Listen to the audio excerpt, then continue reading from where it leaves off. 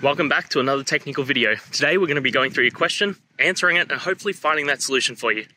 Guys, remember to stay just a little bit crazy like me, and hopefully you get to that resolution. Now, let's continue on to the video.